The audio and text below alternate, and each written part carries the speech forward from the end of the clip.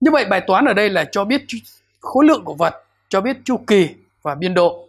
Yêu cầu tìm uh, cơ năng thì ta lại áp dụng công thức cơ năng thì bằng m omega bình a bình chia cho 2 hay là 1 phần 2 m omega chính là 2 pi trên t.